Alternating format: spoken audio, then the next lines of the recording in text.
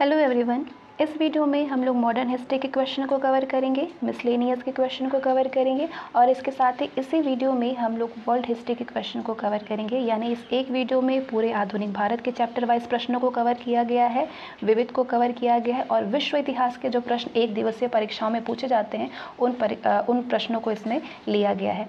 और ये जो प्रश्न है ये पूरे ही प्रश्न अगर आप लूसेंट पढ़ लेते हैं तो ये पूरे ही प्रश्न लूसेंट के हैं और इसमें जो सल्यूशन है, ये सल्यूशन आपके एन e के सल्यूशन है।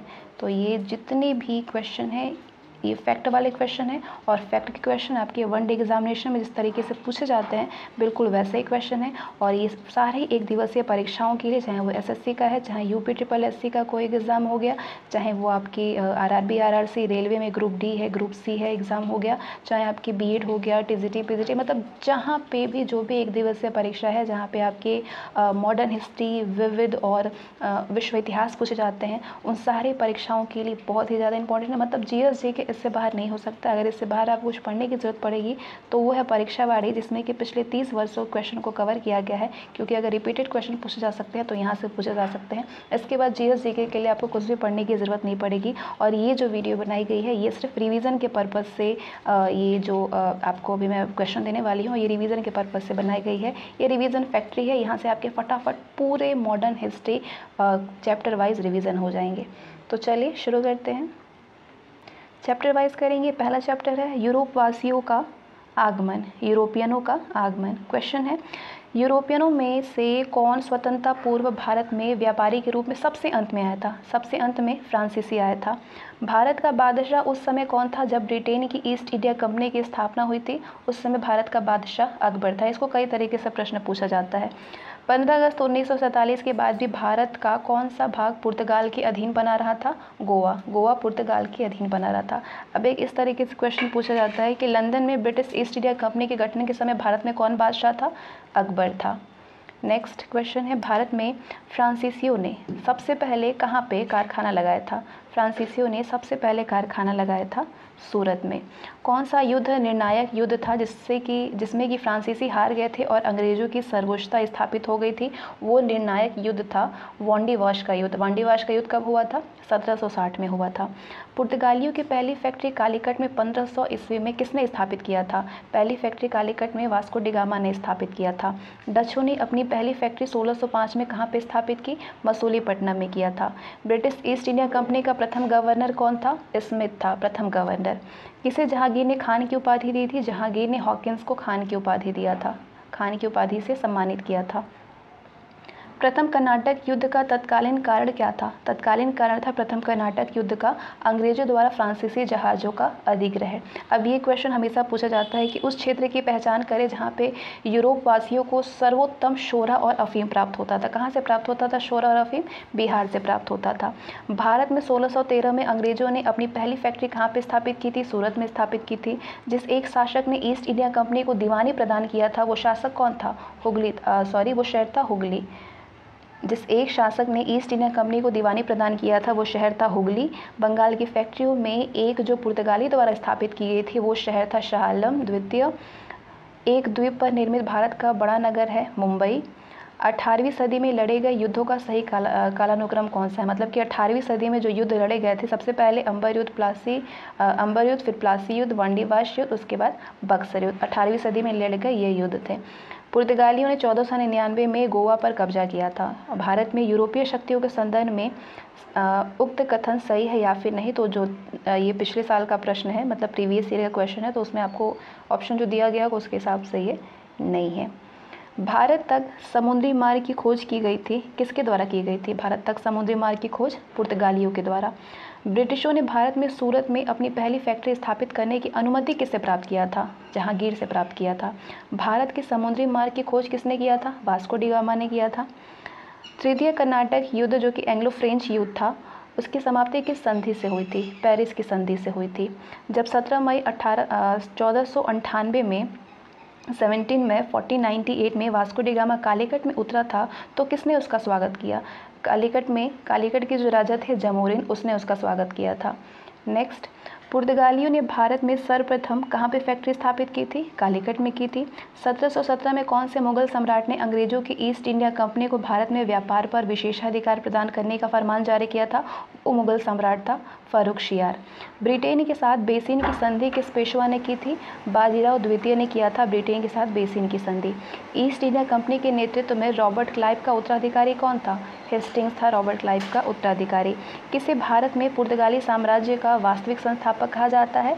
अल्फांसो डी अल्बुकर्क को भारत में पुर्तगाली साम्राज्य का वास्तविक संस्थापक कहा जाता है। अल्बुकर्क के नाम से याद रखिए हमेशा पूछे जाने वाले क्वेश्चन है।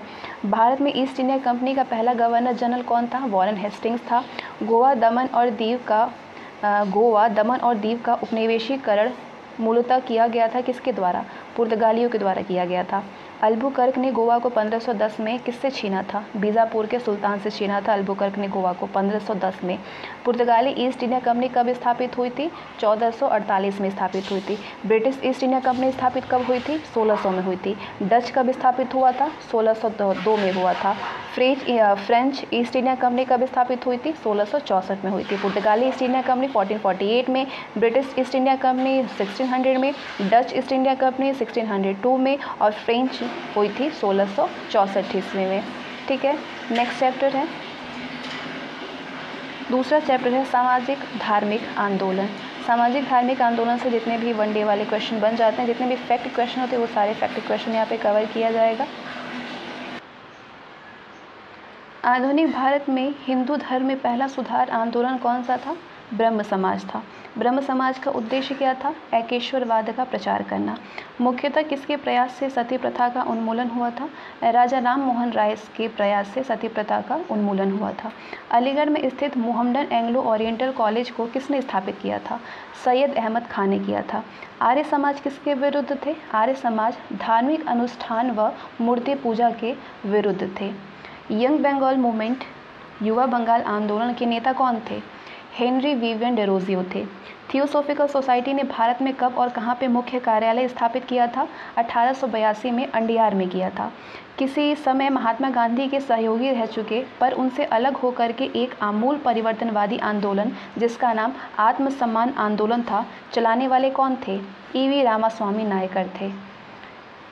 अठारह सौ उनतीस ईस्वी में सती प्रथा का उन्मूलन किसके द्वारा किया गया था? लॉर्ड विलियम बेंटिक के द्वारा।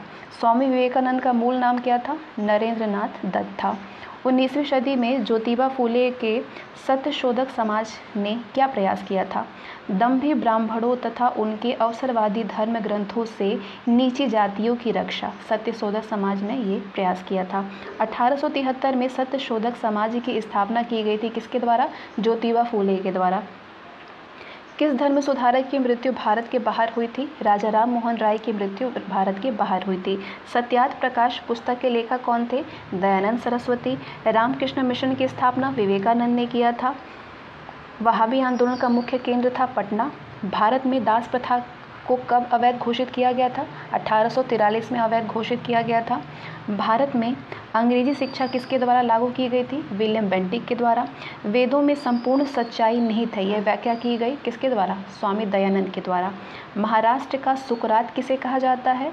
महादेव गोविंद रनाडे को महाराष्ट्र का सुकरात कहा जाता है। स्वामी विवेकानंद किस स्थान पर हुए धार्मिक सम्मेलन से प्रसिद्ध हुए थे? शिकागो में जो सम्मेलन हुआ था, उसमें प्रसिद्ध हुए थे विवेकानंद। राजा राम मोहन राय ने अपने असाधारण काम की खातिर भारतीय इतिहास में अपनी पहचान बनाई, उसका मुख्य काम किस दिशा में था? समाज सुधार पे था। नेक्स्ट अलीगढ़ मुस्लिम विश्वविद्यालय की स्थापना किसने की थी? सैयद अहमद खान ने किया था। किसे आधुनिक भारत का जनक कहते हैं? राजा राम मोहन राय को कहते हैं। भारतीय राष्ट्रवाद का जनक किसे कहा जाता है? राजा राम मोहन राय को। कन्याकुमारी का रॉक मेमोरियल किसके लिए समर्पित है? स्वामी विवेकानंद के लिए समर्पित है। कन्याकुमारी का रॉक मेमोरियल। स्वामी दयानंद सरस्वती का नाम क्या था? मूल शंकर नेक्स्ट भारत में 19वीं सदी का पुनर्जागरण किस वर्ग तक सीमित था? उन्नीसवीं सदी का पुनर्जागरण उच्च वर्ग तक सीमित था। प्रार्थना समाज की स्थापना किसकी प्रेरणा के फलस्वरूप हुई थी? केशव चंद्र सेन की। राजा राम मोहन राय के इंग्लैंड जाने के पश्चात किसने ब्रह्म समाज की बागडोर संभाली थी? रामचंद्र विद्या वागिश ने संभाली थी। राजा राम मोहन राय और डेविड हेयर किसके स्थापना के किसके स्थापना से जुड़े हुए थे? हिंदू कॉलेज की स्थापना से जुड़े हुए थे। देवबंद आंदोलन से जुड़े उस विद्वान का नाम बताइए जिन्होंने स्वतंत्रता आंदोलन में महत्वपूर्ण भूमिका निभाई थी। वो है अबुल कलाम आज़ाद। शारदा मणि कौन थी? रामकृष्ण परमहंस की पत्नी थी। राजा राम मोहन राय द्वारा ब्रह्म समाज की स्थापना 1828 में की गई थी। कूका आंदोलन को किसने संगठित किया था? गुरु राम सिंह ने किया था। दयानंद सरस्वती द्वारा स्थापित है आर्य समाज। 19वीं सदी के उत्तरार्ध में नव हिंदूवाद यानी नियो हिंदुइज्म के सर्वप्रथम प्रतिनिधि कौन थे? स्वामी विवेकानंद थे। देव समाज का संस्थापक कौन था? शिव नारायण अग्निहोत्री। राधा स्वामी सत्संग के संस्थापक कौन थे? शिव दयाल साहब। फारसी साप्ताहिक, मिरात उल अखबार को प्रकाशित कौन करते थे? राजा राम मोहन राय। बाल विवाह प्रथा को नियंत्रित करने के लिए 1872 के सिविल मैरिज एक्ट ने लड़कियों की विवाह की न्यूनतम आयु निर्धारित की थी कितने वर्ष? चौदह वर्ष। तहजीब उल एखलाक के रचनाकार कौन है? सैयद अहमद खां। किसने कहा था अच्छा शासन, स्वशासन का स्थापन नहीं है ये कहा था स्वामी दयानंद सरस्वती ने। वेदों की ओर लौटो। ये नारा किसने दिया था? दयानंद सरस्वती ने। प्रार्थना समाज के संस्थापक है आत्माराम पांडुरंग। किस व्यक्ति ने सर्वप्रथम स्वराज शब्द का प्रयोग किया और हिंदी को राष्ट्रभाषा माना था, स्वामी दयानंद सरस्वती ने। किस वर्ग को सर्वप्रथम पश्चिमी सभ्यता ने प्रभावित किया था? शिक्षित हिंदू मध्यम वर्ग को पश्चिमी सभ्यता ने प्रभावित किया था। M C Setalvad, V N Rao और अल्लादे कृष्ण स्वामी अय्यर प्रख्यात सदस्य थे मद्रास लेबर यूनियन के। अहमदिया कादियानी आंदोलन जो कि अठारह सौ उन्यासी नब्बे में हुआ था, ये किसने प्रारंभ किया था? मिर्ज़ा गुलाम अहमद ने किया था। नेक्स्ट चैप्टर है, जातिगत जनजातीय किसान मजदूर आंदोलन। भारत के राष्ट्रपतियों में से कौन ट्रेड यूनियन आंदोलन से संबंध रहा था? वीवी गिरी। वल्लभ भाई पटेल को सरदार की उपाधि, उनकी कुशल संगठन क्षमता के कारण किस आंदोलन के दौरान दी गई थी? बारदोली सत्याग्रह के समय में इनको वल्लभ भाई पटेल को सरदार की उपाधि दी गई थी। बारदोली सत्याग्रह जो कि उनतीस उन्नीस को हुआ था बारदोली सत्याग्रह का नेतृत्व किसने किया था? वल्लभ भाई पटेल ने किया था। किस वायसराय के शासनकाल में पहली फैक्ट्री अधिनियम पारित किया गया था? लॉर्ड रिपन के शासनकाल में पहला फैक्ट्री अधिनियम पारित किया गया था। किस प्रदेश में ब्रिटिश के विरुद्ध बिरसा मुंडा का संचालन रहा था? छोटा नागपुर में। वाइकुम सत्याग्रह कहाँ पे चलाया गया था? केरल में चलाया गया था। पहली बार किस कारखाना अधिनियम में बच्चों की सुरक्षा के उपाय के प्रावधान किए गए थे? वो अधिनियम था भारतीय कारखाना अधिनियम अट्ठारह पहली बार किस कारखाना अधिनियम के तहत महिला मजदूरों की सुरक्षा सुनिश्चित की गई थी? भारतीय कारखाना अधिनियम अठारह सौ इक्यानवे में। आधुनिक युग का मनु किसे कहा जाता है? आधुनिक युग का मनु कहा जाता है बी आर अंबेडकर को। महाराष्ट्र के एक महार परिवार के संबंध में, महान परिवार से संबंध रखने वाले बी आर अंबेडकर का जन्म वस्तुतः कहाँ पे हुआ था? जहाँ उनके पिताजी रामजी मालूजी सूबेदार मेजर के पद पर कार्यरत थे। वो था महू छावनी कहाँ पे ये है? मध्य प्रदेश में। बी आर अंबेडकर की पढ़ाई लिखाई किसने आ, में किसने बड़ा सहयोग किया था? बड़ौदा के महाराज ने किया था उनकी पढ़ाई लिखाई में सहयोग। अखिल भारतीय व्यापार संघ कांग्रेस यानी एआईटीयूसी का प्रथम अध्यक्ष कौन था? लाला लाजपत राय थे। 1899 से 1900 की मुंडा क्रांति के नेता कौन था? बिरसा मुंडा था। उन्हीं के नाम पे क्रांति थी। अखिल भारतीय किसान सभा के प्रथम सत्र की अध्यक्षता किसने की थी? स्वामी सहजानंद ने किया था। 1855 में संथालों ने किस अंग्रेज़ कमांडर को हराया था? अंग्रेज़ों ने मेजर बरो को हराया था। बम्बई में अखिल भारतीय व्यापार संघ कांग्रेस की स्थापना कब हुई थी? उन्नीस सौ बीस में हुई थी। मुंडाओं ने विद्रोह खड़ा किया था अठारह सौ पंचानवे में। ट्रेड यूनियन आंदोलन के क्रांतिकारी चरण का समय क्या था? 1926 से उनतालीस था। हो विद्रोह कब हुआ था? हो विद्रोह हुआ था 1820 से 21 के दौरान। 1908 के छोटा नागपुर कास्ट अधिनियम ने रोक लगाई थी बेठे बेगारी पर। बेठे बेगारी पर रोक लगाई थी। मानव बलि प्रथा का निषेध करने के कारण अंग्रेज़ों के विरुद्ध विरोध करने वाली जनजाति का नाम क्या है? खोंड जनजाति थी वो। कम्युनिस्ट इंटरनेशनल का सदस्य बनने वाला पहला भारतीय कौन था? एम एन रॉय था। महात्मा गांधी के नेतृत्व में चलाया गया चंपारण का नील सत्याग्रह 1917 में कौन था? नील उत्पादक कृषकों के द्वारा तीन कठिया प्रथा के विरुद्ध ही चलाया गया था सत्याग्रह। बिरसा मुंडा का कार्य क्षेत्र कौन सा था? रांची था। किसके द्वारा मंदिरों में प्रवेश के अधिकार की मांग प्रस्तुति के कारण अठारह सौ निन्यानवे में तिरुनेवल्ली में भयंकर दंगे हुए थे? नाडार के, नाडार द्वारा। किसके द्वारा मंदिरों में? नाडार के द्वारा। महाराष्ट्र में रामोसी कृषक जत्था किसने स्थापित किया था? वासुदेव बलवंत फड़के ने किया था। अवध के एका आंदोलन का उद्देश्य क्या था? सरकार को लगान देना, बंद करना। नाई धोबी बंद सामाजिक बहिष्कार का एक रूप था, जो कि 1919 में किसानों द्वारा प्रतापगढ़ ज़िले में चलाया गया था। छोटा नागपुर जनजातीय विद्रोह कब हुआ था? 1820 में हुआ था। गांधी का चंपारण सत्याग्रह किससे जुड़ा था? तिनकठिया से। उलगुलान, ये महाविद्रोह उलगुलान किससे जुड़ा था? बिरसा मुंडा से। खैरवार आदिवासी आंदोलन कब हुआ था? 1874 में। मोपला आंदोलन 1921 में मालाबार में हुआ था। गुलामगिरी का लेखक ज्योतिबा फूले हैं। पागलपंथी विद्रोह, वस्तुतः एक विद्रोह था गारो का। गारो जनजाति का। कौन सी घटना महाराष्ट्र में गठित हुई थी? भील विद्रोह महाराष्ट्र में हुआ था। नील आंदोलन का जमकर के समर्थन करने वाले हिंदू पैट्रियट का संपादक थे हरिश्चंद्र मुखर्जी। नेक्स्ट चैप्टर भारत का स्वतंत्रता आंदोलन। अठारह के विद्रोह के समय भारत का गवर्नर जनरल लॉर्ड डलहौजी था। अठारह के विद्रोह में किसने सबसे पहला बलिदान दिया था? मंगल पांडे ने। अठारह में कानपुर में सैनिकों का नेतृत्व तात्या टोपे ने किया था। अठारह का विद्रोह की शक्ति का सबसे महत्वपूर्ण तत्व था हिंदू मुस्लिम एकता। रानी लक्ष्मीबाई का मूल नाम था मणिकर्णिका। भारत के शिक्षित मध्यम वर्ग के लोग अठारह की क्रांति में तटस्थ रहे थे। अठारह में अंग्रेज़ी साम्राज्य के विरुद्ध पंजाब में नामधारी सिखों ने सशस्त्र विद्रोह किया था। बिहार में अठारह सौ सत्तावन के नेता कुंवर सिंह का देहांत हुआ था 9 मई अठारह सौ अट्ठावन में। अंग्रेज़ी भारतीय सेना में चर्बी वाले कारतूतों से चलने वाली एनफील्ड राइफल कब शामिल हुई थी? जनवरी अठारह में। कौन सा आयोग अठारह का विद्रोह दमन के बाद भारतीय फौज के नवसंगठन से संबंधित थे?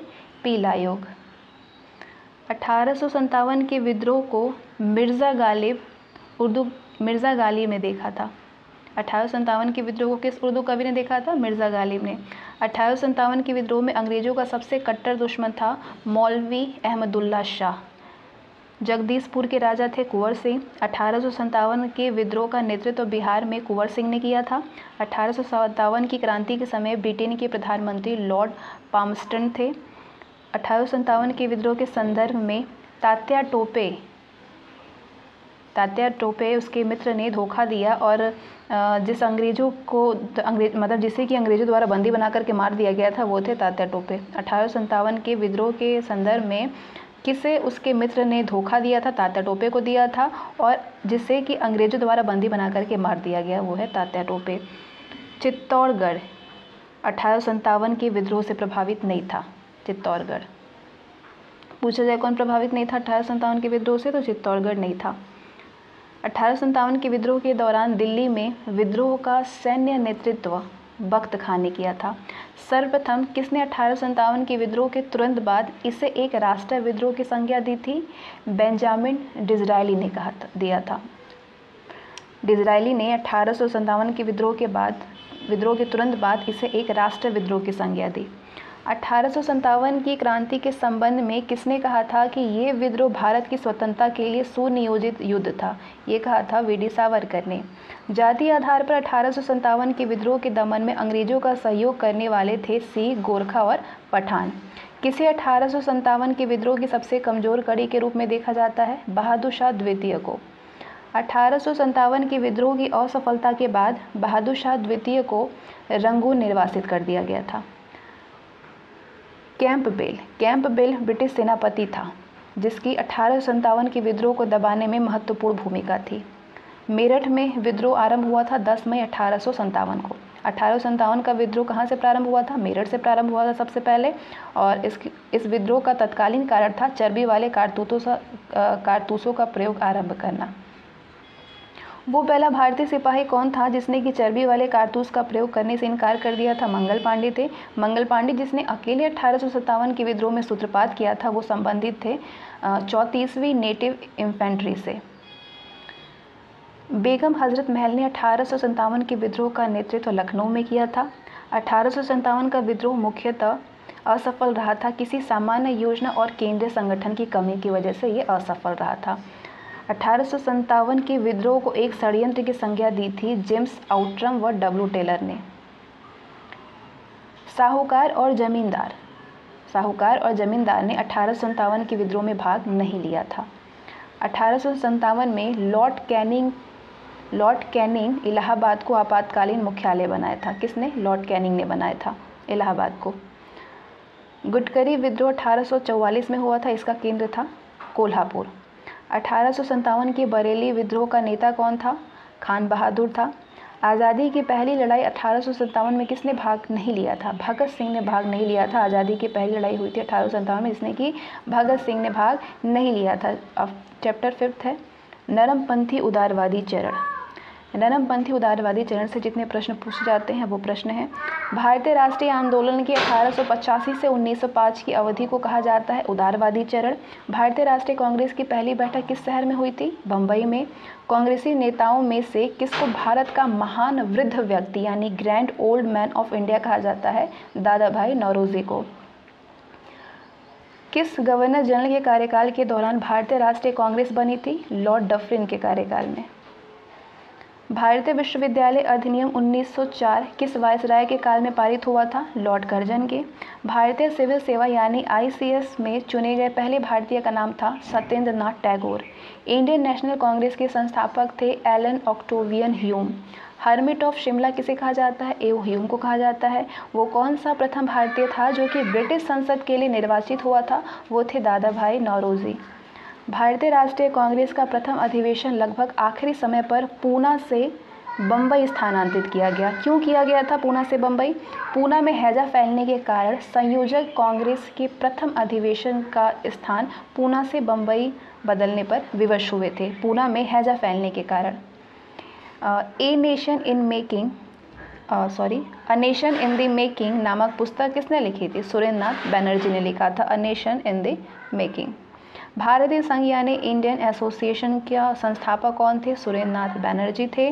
भारतीय राष्ट्रीय कांग्रेस के प्रथम मुस्लिम प्रेसिडेंट थे Badruddin Tyab ji. British House of Commons का चुनाव, जिस प्रथम भारत ने लड़ा था, वो थे दादा भाई नौरोजी। किसने कहा था, कांग्रेस पतन के लिए लड़खड़ा रही है। मेरी सबसे बड़ी अभिलाषा, जब तक मैं भारत में हूँ, कांग्रेस की शांतिपूर्ण समाप्ति में सहयोग करूँगा। वो है लॉर्ड कर्जन।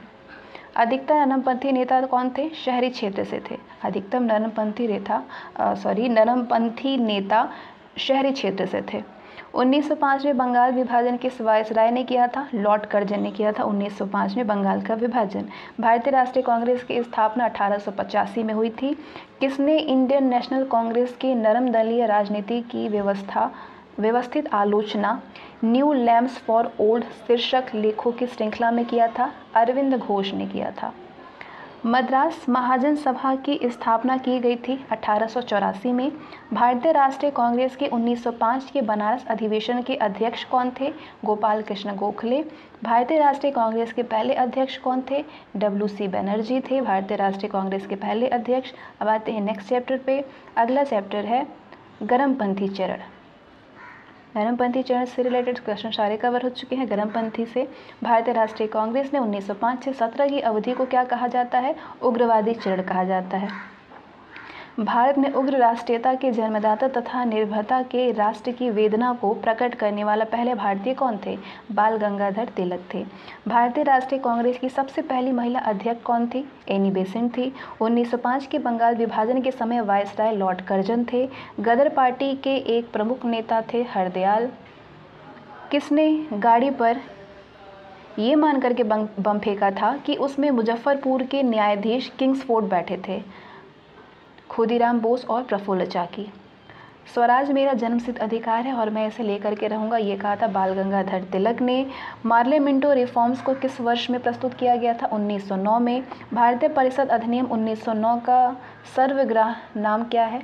मार्ले मिंटो सुधार।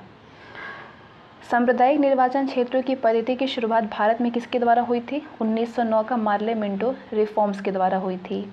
भारत में गर्म दलीय आंदोलन का पिता किसे कहा जाता है? भारत में गर्म दलीय आंदोलन का पिता कहा जाता है बाल गंगाधर तिलक को। कौन पहले एक क्रांतिकारी थे जो कि बाद में एक योगी और दार्शनिक बन गए थे? अरविंद घोष पहले क्रांतिकारी थे, बाद में योगी और दार्शनिक बन गए।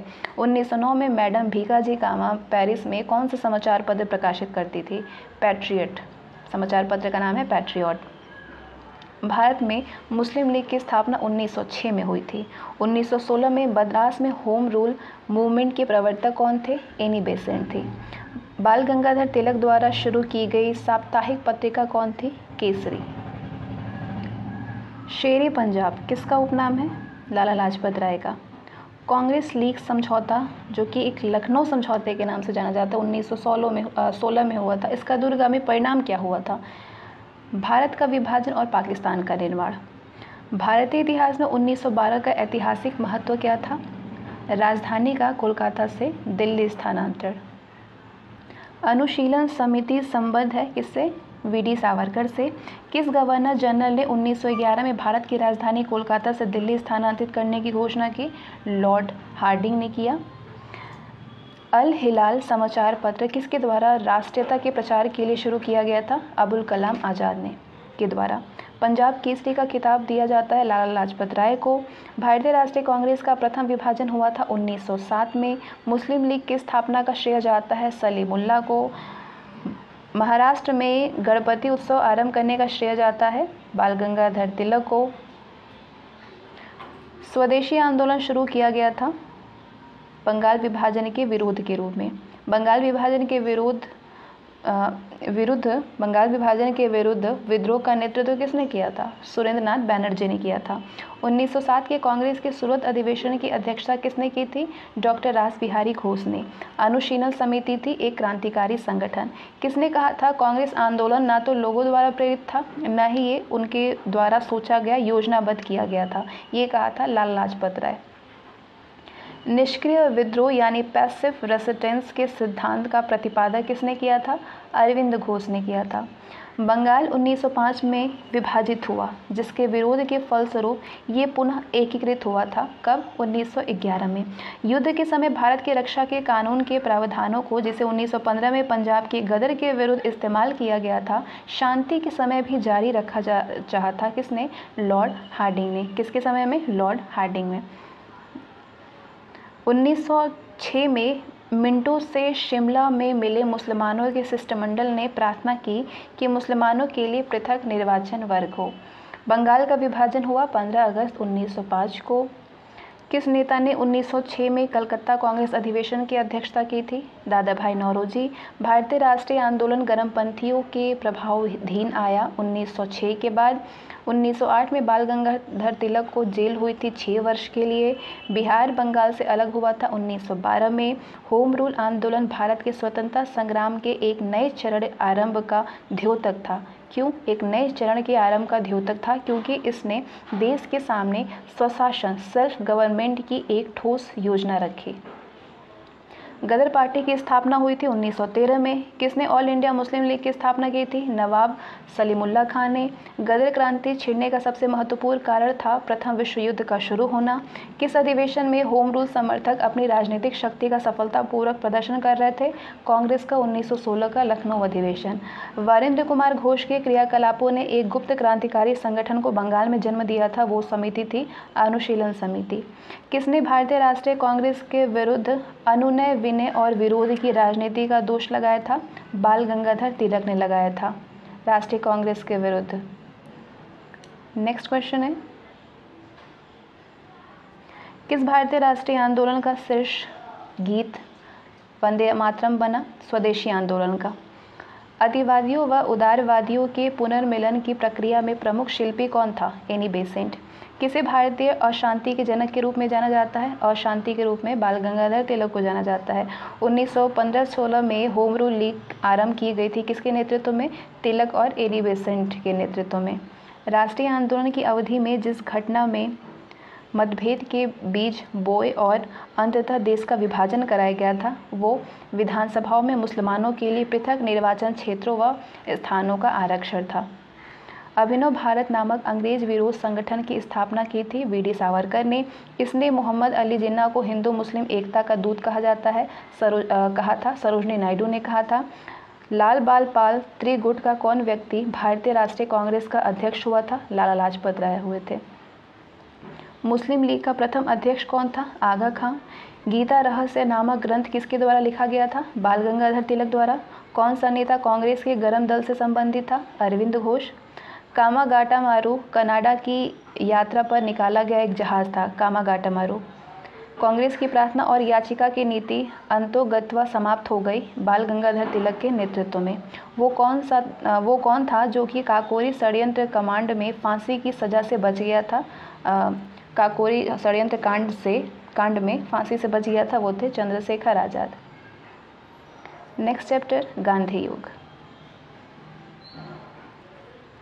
महात्मा गांधी ने सत्याग्रह, क्रियाविधि सबसे पहले कहाँ पर प्रस्तुत की थी? चंपारण में।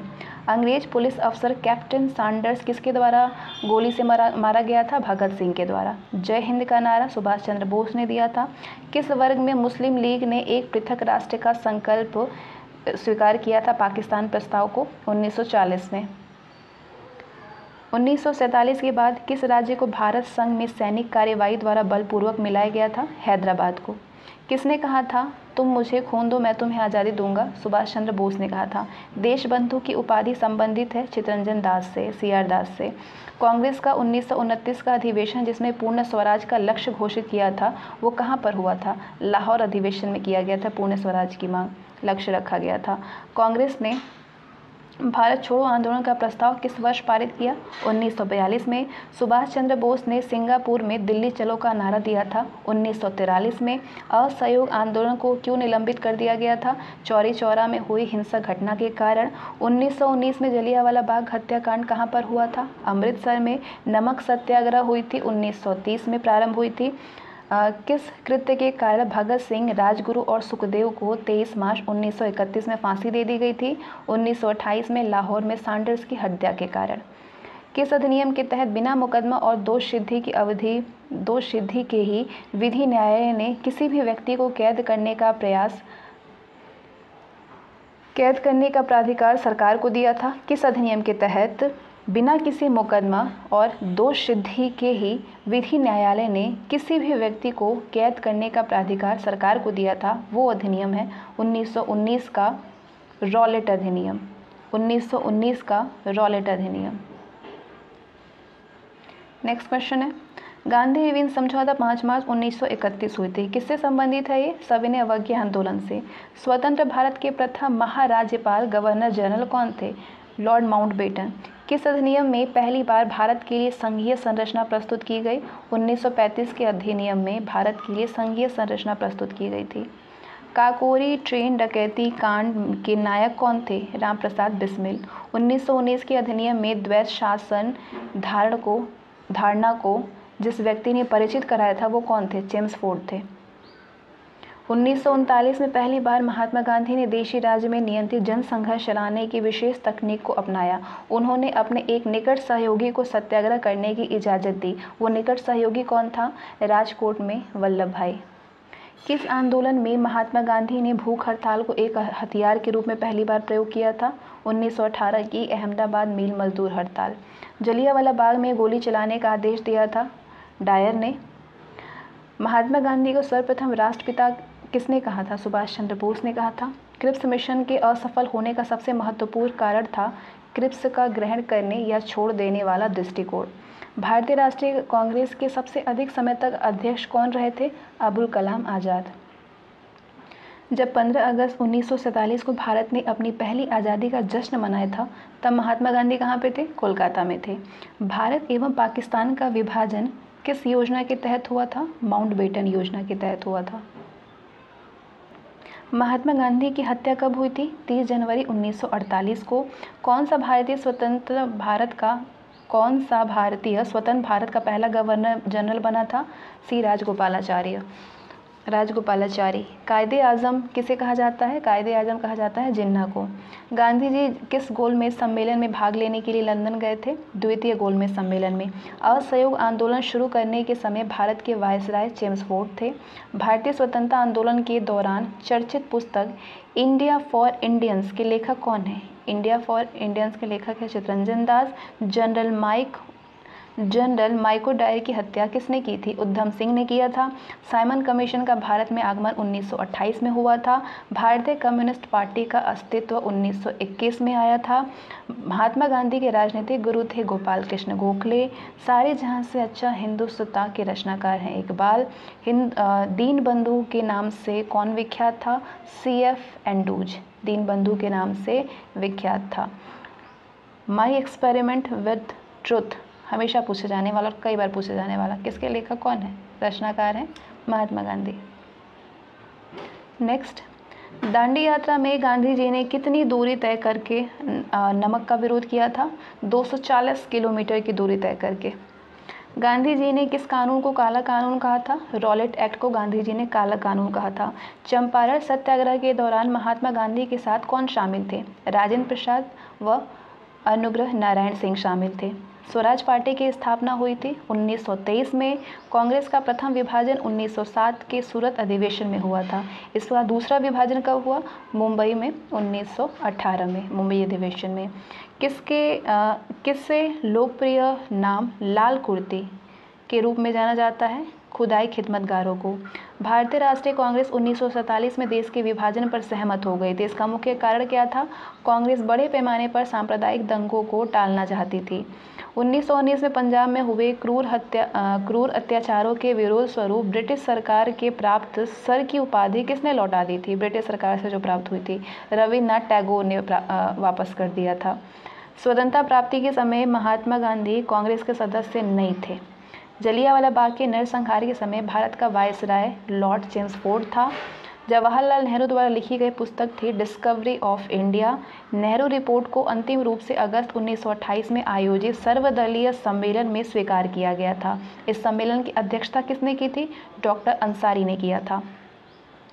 1923 में चितरंजन दास और मोतीलाल नेहरू ने कहाँ पे स्वराज पार्टी की स्थापना की थी? इलाहाबाद में स्वराज पार्टी की स्थापना की थी। ब्रिटिश सरकार ने पहली बार ये घोषणा की कि उनकी मंशा भारत में धीरे धीरे एक उत्तरदायी सरकार बनाने की है। किसके द्वारा? किस घोषणा के द्वारा? अगस्त 1917 घोषणा के द्वारा। चौरी चौरा नामक प्रसिद्ध स्थल कहाँ पे है? गोरखपुर में है। किसने कहा था मध्य रात्रि के टकोर पर जब संसार सोता है, भारत अपने जीवन व स्वतंत्रता के लिए जाग उठेगा। ये कहा था जवाहरलाल नेहरू ने। Who believes if India dies किसकी उक्ति है जवाहरलाल नेहरू की? गांधी जी भारतीय राष्ट्रीय कांग्रेस के अध्यक्ष कितनी बार बने थे? एक बार बने थे। इनकलाब जिंदाबाद का नारा भगत सिंह ने दिया था। इंडियन लिबरल फेडरेशन की स्थापना एस एन बनर्जी ने किया था। दक्षिण अफ्रीका में महात्मा गांधी द्वारा प्रकाशित पत्रिका का नाम था इंडियन ओपिनियन। सविनय अवज्ञा आंदोलन 1930 की पराकाष्ठा में गांधी जी ने किसके साथ समझौता पर हस्ताक्षर किए थे? लॉर्ड इरविन के समझौते के साथ, जिसे इरविन समझौता कहते हैं। 1932 में अखिल भारतीय हरिजन संघ के संस्थापक कौन थे? महात्मा गांधी थे। नेक्स्ट क्वेश्चन है, अक्टूबर कहाँ पे यानी सिंगापुर में 21 अक्टूबर 1943 को स्वतंत्र भारत की आज़ाद हिंद फौज सरकार की घोषणा की गई थी, कहाँ पे? सिंगापुर में की गई थी। भारतीय स्वतंत्रता संग्राम के दौरान साइमन कमीशन की नियुक्ति किस उद्देश्य के लिए हुई थी? साइमन कमीशन की नियुक्ति हुई थी 1919 के सुधारों की प्रगति की समीक्षा के लिए। भारत छोड़ो आंदोलन के समय इंग्लैंड का प्रधानमंत्री चर्चिल था। उन्नीस सौ सैंतालीस के भारतीय राष्ट्रीय कांग्रेस के दिल्ली अधिवेशन की अध्यक्षता राजेंद्र प्रसाद ने किया था। भारतीय राष्ट्रीय कांग्रेस का उन्नीस सौ अड़तीस का अधिवेशन हरिपुरा में हुआ था। 1927 की बटलर कमेटी का उद्देश्य था भारतीय सरकार तथा देशी राज्यों के बीच संबंधों को सुधारना, करो या मरो यानी डू और डाई का नारा दिया था महात्मा गांधी ने। किसने भारतीय राष्ट्रीय कांग्रेस के कराची अधिवेशन की अध्यक्षता की थी? वल्लभ भाई पटेल ने किया था। कराची अधिवेशन 1931 में हुआ था। भारत में साइमन कमीशन के बहिष्कार का मुख्य कारण था सभी सदस्य अंग्रेज़ थे। इसलिए भारत में द्वैत शासन प्रारंभ किया गया था मॉन्टेग्यू सॉरी मॉन्टेग्यू चेम्सफोर्ड के द्वारा किया गया था 1919 में।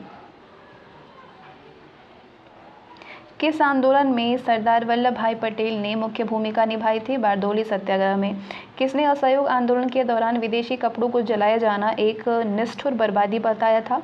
रविन्द्रनाथ टैगोर ने। भारत छोड़ो प्रस्ताव का आलेख बनाया था महात्मा गांधी ने।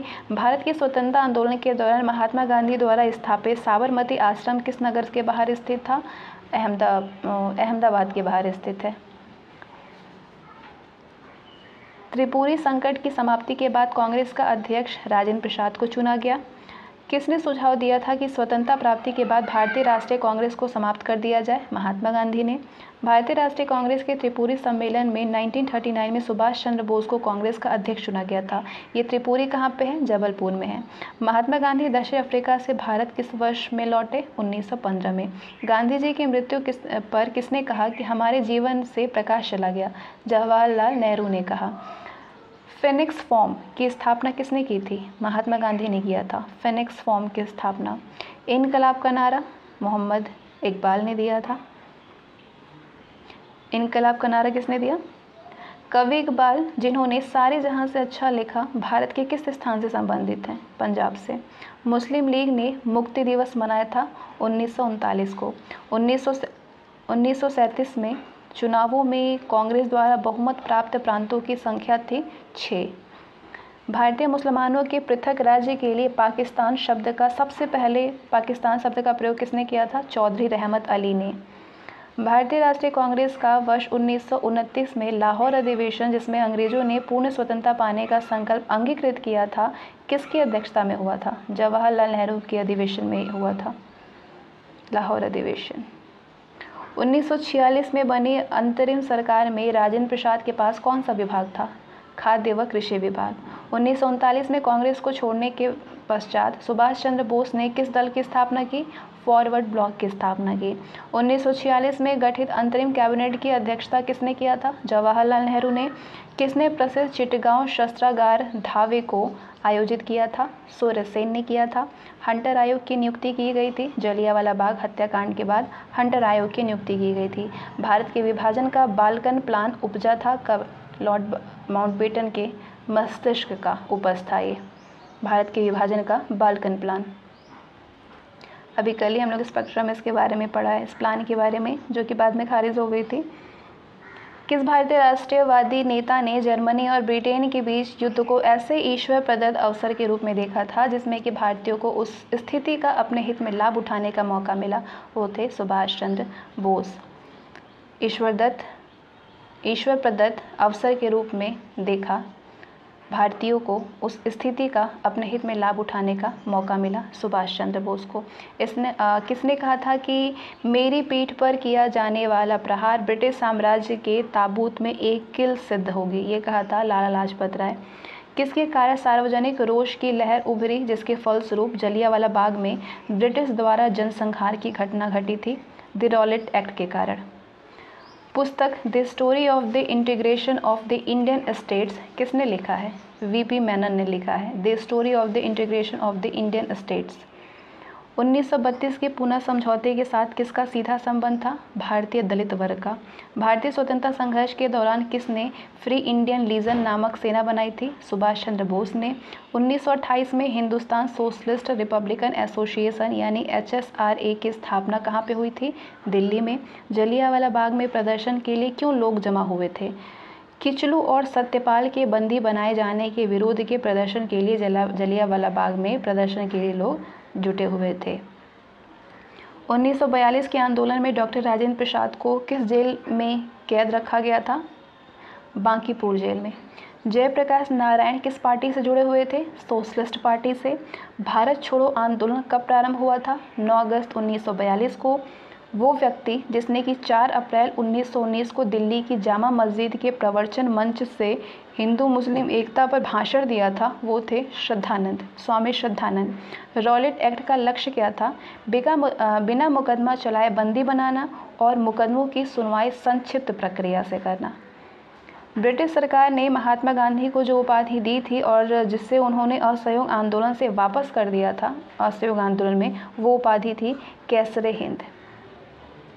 व्यक्तिगत सत्याग्रह में विनोबा भावे को प्रथम सत्याग्रही चुना गया था। दूसरा सत्याग्रही किसको चुना गया था? पंडित जवाहरलाल नेहरू को।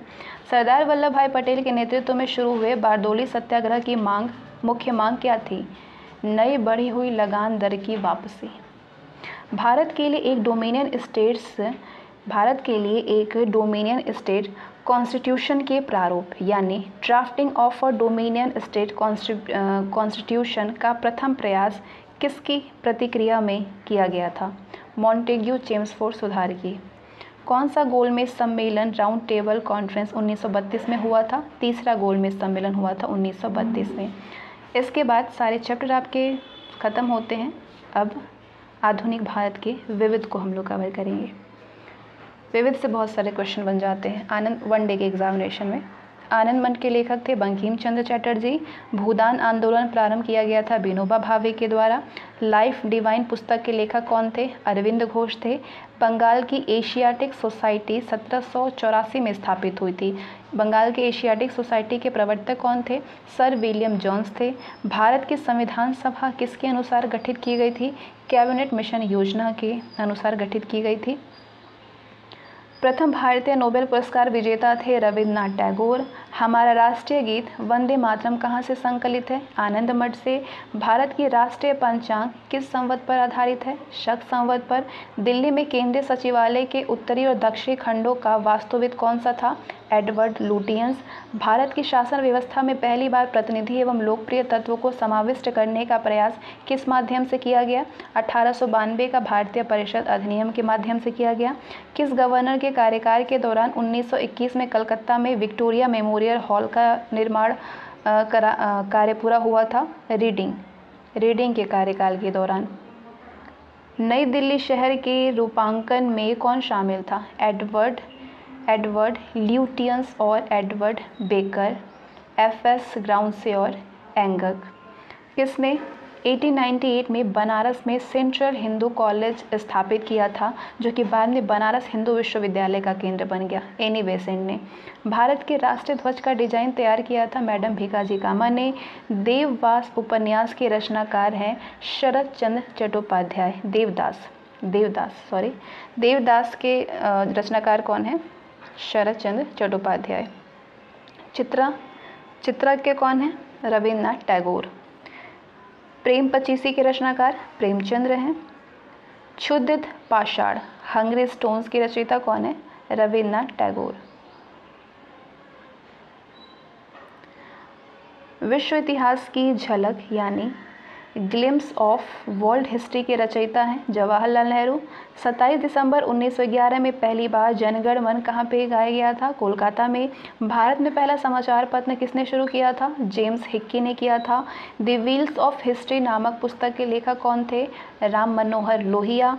पोस्ट ऑफ़िस के लेखक हैं रविन्द्रनाथ टैगोर। किसे इस्पात का चौखटा। इस्पात का चौखटा यानी स्टील फ्रेम की संज्ञा दी गई किसे दी गई थी? आईसीएस को, भारतीय नागरिक सेवा को। गोदान किसकी रचना है? गोदान है प्रेमचंद्र की रचना। भारत भारती की रचनाकार है मैथिली शरण गुप्त। सैडलर आयोग का संबंध किससे था? शिक्षा से था। ब्रिटिश ने भारत में प्रांतीय स्वायत्त यानी प्रोविंशियल ऑटोनॉमी कब से लागू कर दिया था? भारत सरकार अधिनियम 1935 से लागू कर दिया था। खिलाफत आंदोलन खिलाफत आंदोलन का आरंभ किया था। अली बंधुओं ने, भारत में सिविल सेवाओं का सूत्रपात किसने किया था? लॉर्ड कार्नवालिस ने, अमृत बाज़ार पत्रिका की स्थापना की थी। शिशिर कुमार घोष ने, झंडा गीत किसने लिखा? श्यामलाल गुप्ता पार्षद ने नागरिक सेवाओं यानी सिविल सर्विसेज़ के लिए प्रतियोगी परीक्षा प्रणाली को सिद्धांततः स्वीकार किया गया अठारह में। किस अधिनियम के तहत लॉर्ड कार्नवालिस को अपने काउंसिल के फैसले को रद्द करने का अधिकार मिला था? सत्रह सौ छियासी के एक्ट में उपन्यास दुर्गेश नंदिनी के लेखक हैं बंकिम चंद्र चटर्जी। किस एक्ट के द्वारा भारत के गवर्नर जनरल को अध्यादेश यानी ऑर्डिनेंस जारी ऑर्डिनेंस जारी करने का शक्ति प्रदान की गई। किस एक्ट के द्वारा? इंडियन काउंसिल एक्ट 1861 के द्वारा। किसने सर्वप्रथम प्रेस सेंसरशिप लागू किया था? प्रेस सेंसरशिप लागू किया था वेलेजली ने। कौन भारत में मुसलमानों की उच्च शिक्षा के लिए पथ प्रदर्शक बने? हमेशा पूछे जाने वाले क्वेश्चन है ये सब। अहमद खान ने। सर सैयद अहमद खान ने किसके अंतर्गत भारत में सर्वप्रथम सर्वोच्च न्यायालय की स्थापना हुई थी? Regulating act seventy seventy three के अंतर्गत भार पत्रकार के कर्तव्यों का निर्वहन करते हुए जेल जाने वाले प्रथम भारतीय कौन थे? बाल गंगाधर तिलक। स्वतंत्र भारत का अंतिम गवर्नर जनरल राजगोपालाचारी थे भारत, स्वतंत्र भारत का। गोदान और गबन दोनों एक ही लेखक की रचना है। वो लेखक है Munshi Premchandra B H U यानी बनारस हिंदू विश्वविद्यालय पुस्तक किसने लिखी थी? मदन मोहन मालवीय ने लिखी थी। Guilty man of India's partition पुस्तक किसने लिखी? डॉक्टर राम मोहन लोहिया ने। किस विद्रोह को बंकिम चंद्र चटर्जी ने अपने उपन्यास आनंद मठ में उल्लेख कर प्रसिद्ध किया था? सन्यासी विद्रोह को। Lecturers from Colombo to Almora किस एक के अनुभवों पर आधारित है? स्वामी विवेकानंद के अनुभव पर आधारित है। मॉन्टेग्यू चेम्सफोर्ड की रिपोर्ट आधारित आधार बनी है। भारत सरकार अधिनियम 1919 की 1854 की वुड विज्ञप्ति, यानी वुड्स डिस्पैच में अभिव्यक्त शिक्षा का लक्ष्य था भारत में पाश्चात्य संस्कृति का विस्तार। 1842 में क्रिप्स मिशन का एक महत्वपूर्ण पहलू था। द्वितीय विश्व युद्ध के तुरंत पश्चात भारत संघ की स्थापना करना और उसे डोमेनियन पद प्रदान करना। नेक्स्ट है 1935 के भारत अधिनियम यानी इंडिया एक्ट द्वारा प्रस्तावित फेडरल यूनियन में राजसी प्रांतों को शामिल करने के पीछे अंग्रेज़ी की, अंग्रेज़ों की असली मंशा क्या थी? अंग्रेज़ों की असली मंशा थी राष्ट्रवादी नेताओं के साम्राज्यवादी विरोधों सिद्धांतों को, विरोधी सिद्धांतों को व्यर्थ करने के लिए राजाओं का इस्तेमाल करना। राष्ट्रवादी नेताओं के साम्राज्यवादी विरोधी सिद्धांतों को व्यर्थ करने के लिए राजाओं का इस्तेमाल करना 1935 के भारत अधिनियम 1935 के इंडिया एक्ट द्वारा प्रस्तावित फेडरल यूनियन में राष्ट्रीय प्रांतों को शामिल करने के पीछे यही मंशा थी अंग्रेज़ों की। भारत में विभाजन को टालने का अंतिम अवसर समाप्त हो गया था। कैबिनेट मिशन को अस्वीकार करने के साथ ही गोल्डन गोल्डन थ्रेश होल्ड नामक कविता संग्रह की रचयिता कौन है? सरोजनी नायडू हैं गोल्डन थ्रेश होल्ड की रचयिता। 1935 के भारत सरकार अधिनियम की कौन सी एक विशेषता नहीं है?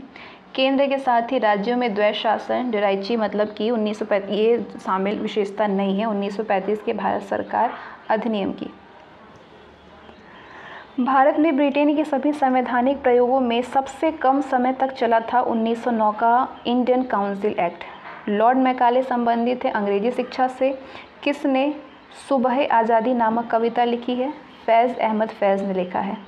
भारत में प्रथम तीन विश्वविद्यालय, कलकत्ता विश्वविद्यालय, मद्रास विश्वविद्यालय बम्बई विश्वविद्यालय, इन तीन विश्वविद्यालय को भारत में किस वर्ष स्थापना हुई थी? अठारह में स्थापना हुई थी।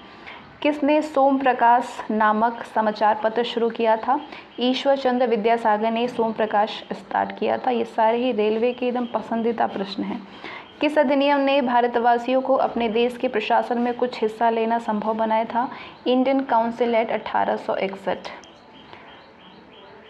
आगे राष्ट्रीय आंदोलन की महत्वपूर्ण तिथियाँ को कवर करेंगे और इसके बाद राष्ट्रीय आंदोलन की जितनी भी महत्वपूर्ण तिथियाँ आपके यहाँ पे कवर हो जाने वाली हैं, इसके बाद वर्ल्ड हिस्ट्री के जो क्वेश्चन इंपॉर्टेंट होते हैं, जो कि पूछे जाते हैं परीक्षाओं में, और जितनी वर्ल्ड हिस्ट्री वैसे बहुत ही छोटा सा पार्ट है वन डे एग्जामिनेशन के लिए छोटा पार्ट होता है तो उन्हें हम यहाँ पे कवर करने वाले हैं।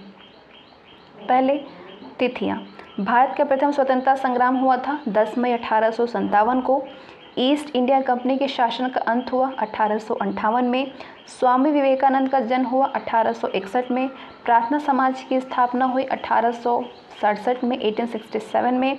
महात्मा गांधी का जन्म हुआ 2 अक्टूबर सेकेंड अक्टूबर 1869 को। कूका विद्रोह हुआ 1872 में। आर्य समाज की स्थापना 1875 में हुई। भारतीय राष्ट्रीय कांग्रेस की स्थापना 1885 में हुई। बंगाल का विभाजन हुआ 1905 में। मुस्लिम लीग की स्थापना हुई 1906 में। प्रथम विश्व युद्ध हुआ 1914 से 18 तक। महात्मा गांधी द्वारा चंपारण में आंदोलन हुआ 1917 में। जलियावाला बाग हत्याकांड 1919 में हुआ। खिलाफत आंदोलन 1920 में हुआ। असहयोग आंदोलन 1920 से 22 के दौरान हुआ। बीच में चौरी चौरा कांड हुआ था 1922 में। साइमन कमीशन की नियुक्ति हुई उन्नीस सौ सत्ताईस में। लाला लाजपत राय की मृत्यु हुई 1928 में। कांग्रेस द्वारा पूर्ण स्वतंत्रता की मांग सविनय अवज्ञा आंदोलन हुआ 1930 में। 1930 में प्रथम गोल में सम्मेलन हुआ था 1930 में। द्वितीय गोल में सम्मेलन हुआ था 1931 में। तृतीय गोल में सम्मेलन 1932 में हुआ था। पूना पैक्ट कब आया 1932 में। मुस्लिम लीग द्वारा पाकिस्तान की मांग रखी गई 1940 में। भारत छोड़ो आंदोलन हुआ 8 अगस्त 1942 को। क्रिप्स मिशन का आगमन हुआ 1942 में। आज़ाद हिंद फौज की स्थापना हुई उन्नीस में। कैबिनेट मिशन का आगमन हुआ 1946 में। नौसेना का विद्रोह हुआ 12 फरवरी 1946 को। भारत के विभाजन की माउंटबेटन योजना 3 जून उन्नीस सौ सैंतालीस में, जिसे 3 जून घोषणा भी कहते हैं। 3 जून योजना भारतीय स्वतंत्र भारतीय स्वतंत्रता प्राप्ति हुई थी 15 अगस्त उन्नीस सौ सैंतालीस को। महात्मा गांधी की हत्या हुई 30 जनवरी 1948 को। देशी रियासतों का भारत में विलय हुआ 1948 से 50 में। भारतीय गणतंत्र हुआ 26 जनवरी 1950 को। इसके बाद विश्व इतिहास के सारे इंपॉर्टेंट तथ्यों को, प्रमुख तथ्यों को इसमें कवर किया जाएगा।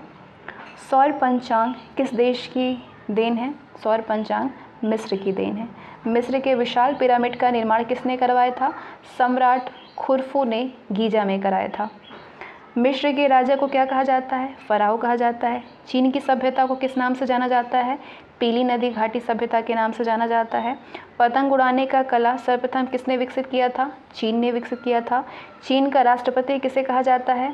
सन्यात सेन को कहा जाता है। चीनी क्रांति का नेता कौन था? सन्यात सेन था। एशिया का मरीज़ किसे कहा जाता है? चीन को कहा जाता है, एशिया का मरीज़। यूरोप का मरीज़ किसे कहा जाता है? चीन का, एशिया का मरीज़ कहा जाता है, चीन को, और यूरोप का मरीज़ कहा जाता है, तुर्कों को। चीन के बक्सर आंदोलन का नेता कौन था? चीन के बक्सर आंदोलन बॉक्सर, सॉरी, बॉक्सर आंदोलन का नेता था हेंग विंग। विश्व में सर्वप्रथम सिक्का व कागज़ी मुद्रा का प्रचलन कहाँ पे हुआ था? चीन में हुआ था। रेशम उद्योग की सर्वप्रथम शुरुआत हुई थी चीन में। यूरोपीय पुनर्जागरण कहाँ से शुरू हुआ था? इटली से शुरू हुआ था। इटली का कौन सा नगर पुनर्जागरण केंद्र था? फ्लोरेंस। फ्लोरेंस पुनर्जागरण का केंद्र था। पुनर्जागरण का मुख्य लक्षण क्या था? तार्कीवाद तार्किकवाद एवं मानववाद। पुनर्जागरण का मुख्य लक्ष्य था तार्किकवाद व मानववाद। पुनर्जागरण का बौद्धिक अर्थ क्या है? आंदोलन है। फाजिज्म का उदय कहाँ पे हुआ था? इटली में हुआ था। फाजिज्म का जनक किसे माना जाता है? मुसोलिनी को। मुसोलिनी को फाजिज्म का जनक माना जाता है। पुनर्जागरण काल में चित्रकला चित्रकला का जनक किसे माना जाता है? जियाटो को माना जाता है। पुनर्जागरण काल में चित्रकला का जनक। धर्म सुधार आंदोलन का, धर्म सुधार आंदोलन का जनक किसे कहा जाता है? मार्टिन लूथर किंग को जो कि जर्मनी के थे। अमेरिका के मूल निवासियों को क्या कहा जाता है? रेड इंडियन कहा जाता है। रेड इंडियन कहा जाता है अमेरिका के मूल निवासियों को।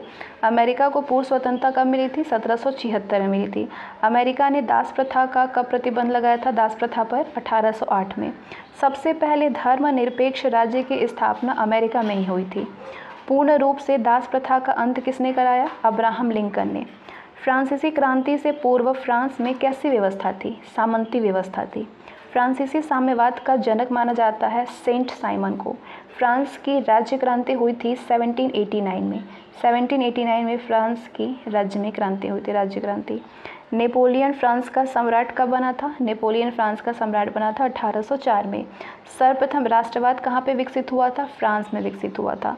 आधुनिक फ्रांस का निर्माता किसे कहा जाता है? नेपोलियन बोनापार्ट को कहा जाता है। वाटरलू का युद्ध किन किन के बीच लड़ा गया था? नेपोलियन और मिस्र राष्ट्रों के बीच में लड़ा गया था अठारह सौ पंद्रह में। नेपोलियन को बंदी बनाकर करके कहाँ पर भेजा गया? सेंट हेलेना द्वीप पर। नेपोलियन के पतन का क्या कारण था? रूस पर आक्रमण। रूस के शासक को क्या कहा जाता है? रूस के शासक को जार कहा जाता है। रूसी साम्यवाद का जनक किसे माना जाता है? प्लेखानेव को माना जाता है रूसी साम्यवाद साम्यवाद का जनक। वोल्शेविक क्रांति के नेता थे लेनिन। रूस का अंतिम जार कौन था? निकोलस द्वितीय। रूस में नई आर्थिक नीति किसने लागू की? रूस में नई आर्थिक नीति। लेनिन ने 1921 में लागू की। आधुनिक रूस का निर्माता किसे जा, कहा जाता है? स्टालिन को। सर्वप्रथम औद्योगिक क्रांति कहाँ पे हुई थी? इंग्लैंड में हुई थी। गुलाबों का युद्ध कहाँ पे हुआ? इंग्लैंड में। मैग्ना कार्टा क्या था? मैग्ना कार्टा सर्वसाधारणों के अधिकारों का घोषणा पत्र था। नाजीवाद का उदय कहाँ पे हुआ था? जर्मनी में। नाजीवाद का जनक कौन था? हिटलर था। नाजीवाद की स्थापना हिटलर ने कब की? 1920 में की। हिटलर की आत्मकथा का क्या नाम है? मीन कैम्प जर्मनी की आर्थिक राष्ट्रवादी का पिता किसे माना जाता है? फ्रेडरिक लिस्ट को माना जाता है। जर्मनी के आर्थिक राष्ट्रवाद का पिता। कार्ल मार्क्स कहाँ का निवासी था? कार्ल मार्क्स जर्मनी का निवासी था। दुनिया के मजदूर एक हो। इसका नारा किसने दिया था? कार्ल मार्क्स ने दिया था। वैज्ञानिक समाजवाद का संस्थापक कौन था? वैज्ञानिक समाजवाद का संस्थापक कार्ल मार्क्स थे। मेसोपोटामिया की स्थापना कहाँ पे विकसित हुई थी? इराक में मेसोपोटामिया की सभ्यता कहाँ पे विकसित हुई? इराक में। मेसोपोटामिया के देव मंदिर को क्या कहते हैं? जिगोरत कहते हैं। शीशे का सर्वप्रथम प्रयोग हुआ था मेसोपोटामिया में। हज़रत मोहम्मद के बचपन का नाम अमीन था। 24 सितंबर 622 को हज़रत मोहम्मद ने, हज़रत मोहम्मद के मक्का से मदीना की यात्रा को किस नाम से जाना जाता है? हिजरी संवत या मुस्लिम संवत के नाम से जाना जाता है। पैगंबर साहब को कहाँ पे दफनाया गया? मदीना में दफनाया गया। पैगंबर के उत्तराधिकारी को कहा जाता है खलीफा। पैगंबर की शिक्षाओं का संग्रह किस ग्रंथ में है? कुरान ग्रंथ में है। जापान में आधुनिकीकरण की प्रक्रिया की शुरुआत किसने की थी? मोत सुहितो ने की थी। जापान को किस नाम से संबोधित किया जाता है? पीत आतंक के नाम से। जापान ने रूस को हराया था 1905 में। द्वितीय विश्व युद्ध के दौरान जापान के किन नगरों पर अड़ू बम गिराए गए थे? हिरोशिमा और नागासाकी में गिराए गए थे।